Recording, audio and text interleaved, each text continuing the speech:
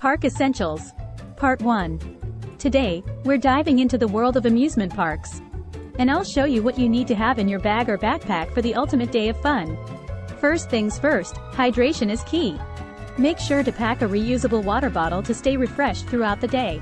No one wants to be parched while waiting in line for that epic roller coaster. Next up, sun protection. Don't forget to pack sunscreen to shield your skin from those UV rays. Trust me, you'll thank me later when you're glowing with happiness instead of sunburn. A hat is a must-have. Not only will it keep you cool, but it'll also add some style to your park adventure. Go for a wide-brimmed hat or a cap to protect your face from the sun. A small bag or fanny pack is perfect for storing your valuables, like your phone, wallet, and park tickets. Keep them safe and close to you while you conquer those exhilarating rides. Thanks for watching. Please like and subscribe for part 2.